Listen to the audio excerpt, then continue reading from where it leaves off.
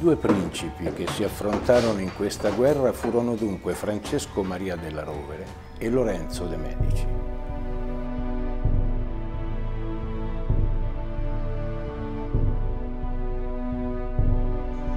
Nell'anno 1517, tra i mesi di marzo e aprile, Mondolfo, terra allora annessa al Ducato di Urbino, fu assediata da Lorenzo de' Medici, nuovo duca di Urbino e capitano generale della Chiesa.